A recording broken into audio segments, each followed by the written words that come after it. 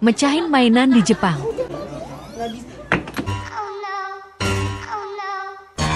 Aku suruh bayar. Harganya berapa ya? Sarah takut. Itu mahal bang. Pengen dipasang lagi. Aku bilang gak bisa.